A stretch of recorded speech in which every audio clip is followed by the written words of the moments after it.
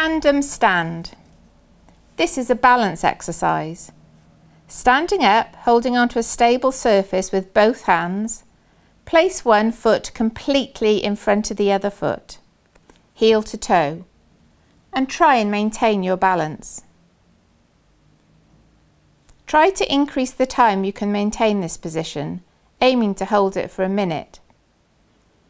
If your physiotherapist recommends, you can progress this exercise by closing your eyes. Only if recommended by your physiotherapist, you can progress this exercise by reducing the amount of support you use. First try holding on with one hand, and only if recommended without holding on. Only complete these progressions if you feel safe and have been advised to by your physiotherapist.